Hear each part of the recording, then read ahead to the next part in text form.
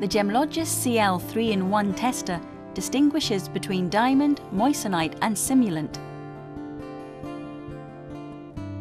It comes with a compact carry pouch, metal stone rest and lanyard.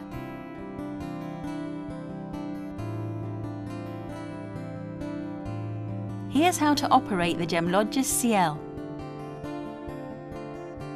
Open the battery compartment and insert three AAA batteries in the correct position as indicated.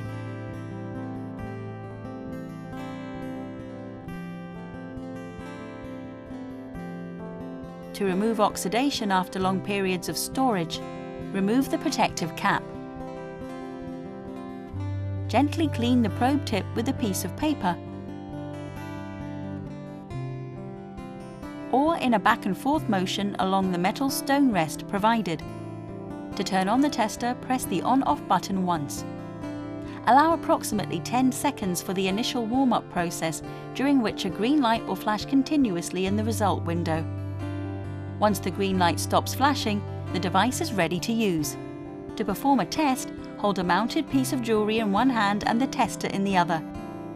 Point the probe tip against a facet of the gemstone.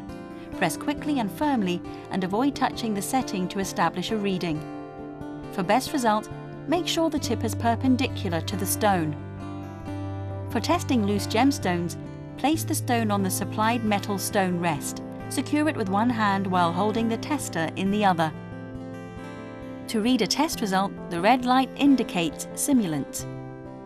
Yellow light indicates moissanite and green light means diamond is detected. If the probe tip comes in contact with metal, it will trigger a continuous beep. The Gemlogis CIEL also communicates with Gemlogis Pistachio referential meter via infrared for further analysis of various simulants.